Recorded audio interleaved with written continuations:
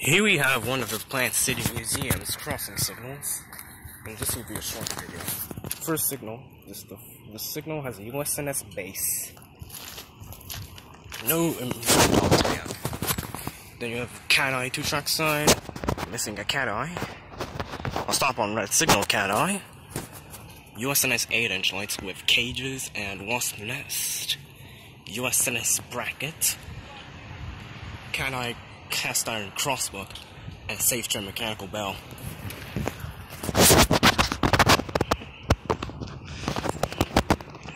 Beautiful.